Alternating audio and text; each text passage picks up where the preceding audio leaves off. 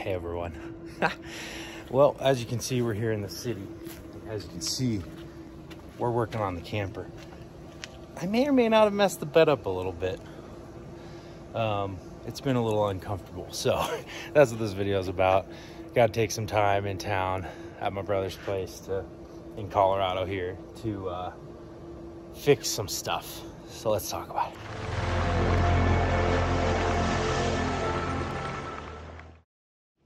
All right, so overall, um, I, mean, this all kind of boils down to just feeling rushed and feeling like I need to get the interior build done. Um, not from Bison or sponsors or anyone specific, just more so, you know, living situation and um, myself wanting to get it done. Anyways, so I could have put this support a little higher like there that side isn't quite right. The table's not quite right. Um, and then we didn't have a support here. And that was just no good. And I kind of knew that. So let's back up a moment. If you remember from a few months ago when Terry from Whipsaw Woodworks built my table, he also built me some super sweet matching walnut supports that I drilled in from the backside of the aluminum that makes the dinette and those were supposed to catch the table. This is one of those point of no return moments, drilling it in, don't want to mess it up. I installed that table, I believe, a day before Overland Expo West, and I felt super rushed to get the truck ready for the expo, and just could have spent a little bit more time and honestly just lined those supports up a little bit better. So that's one thing we're working through. First thing I'll show you, which is quick and easy fix. I ordered an extension pole. Um, this is part of it. This is only a little bit of it. This isn't blood, by the way. This is stain. I'll get to that. We're staining things as well. But this is a third of an extension pole with this little plastic piece. I did the measurements and was like, this should fit perfect. It fits absolutely perfect. So look at how I did this, and then I'll show you why I'm sanding this as well. I put a door stop right here. And I just kind of thought this in my head. I was just like, eh, circular door stop, that should catch it, like the rubber. Well, turns out, you guys, it is just absolutely perfect. It'll come down and rest on the floor there and give that a lot of needed support. And then we're also gonna boost that side up a little bit in doing this to match over there. This piece actually does that just perfectly too. So we just need to add some support there. We're sanding this down. This is just kind of a piece I didn't really want to add. This is the hood pin again that goes and connects up to the wall. Um, but I can feel that tiny little piece of quarter inch in my back when I'm sleeping. So I realized with making a bed, everything has to be just right. I mean, you would think, right? You'd want it flat. That stuff transfers through five inches of pads, like just the littlest bit. So anyways, um, we're gonna sand this down. We're sanding this down. Hate doing this when they're trying to live in it. I'm gonna sleep in it tonight and I'm working on it also, but that's okay.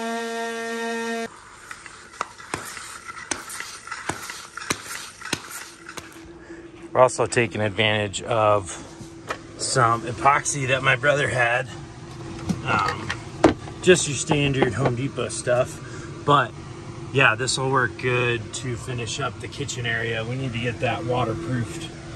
Um, and then a couple other little things. Oh, and the bottom of my jet boat. We're gonna epoxy that for extra strength.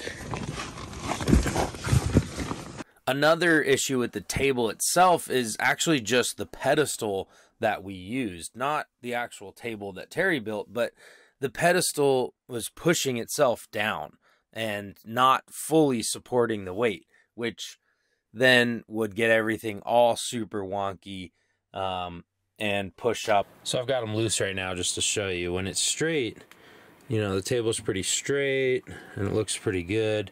But then even no matter how tight I tighten these, the table gets pushed down in the night and usually ends up something like that. and you can feel that like crazy. And then watch on this end again, it's pretty flat and it gets pushed down and it can even get like it can get so bad that that side starts lifting up and now that's a big thing jamming in your back. So my solution to this that I have yet to do um, because I'm living on the road and I don't have the right tool to do it, but I want to get some PVC pipe and cut it down the middle at the perfect size and install it as kind of a shim in the table pedestal so that it can only push down the right amount so that the table won't push too far and fold up on us. So it was really nice, you know, with living on the road to be able to have my brother's garage and ship a few things and get the bed a little bit more dialed in.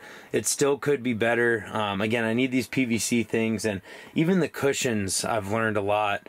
Um, one big kind of issue with the cushions is when they're on the table, when it's down, um, they're this way and they begin to get pushed and then there's a big gap in the cushions and um, yeah, I, I do the cushions a little differently now, I think. So, really a tricky bed setup um, versus the cab over where you just toss a mattress up there.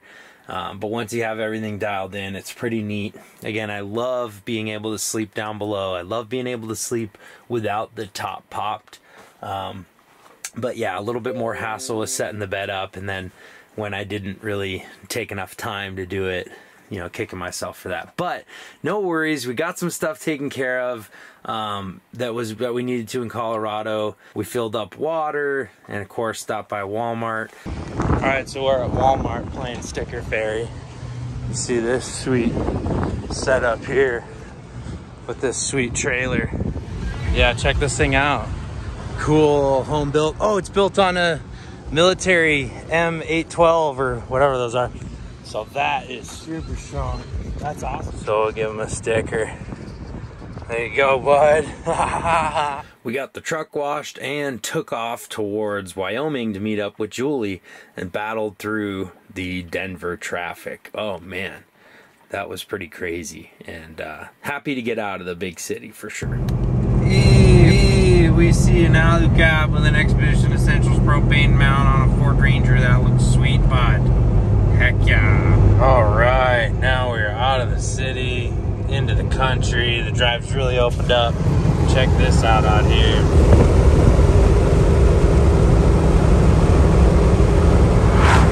Pretty. All right, starting to really feel those road trip vibes now. Man, that city can really get to you, can it? Oh yeah. Really again. But that's going to be in the next episode. So we'll catch you then. Like, comment, subscribe. The only question is, are you down to mob your home?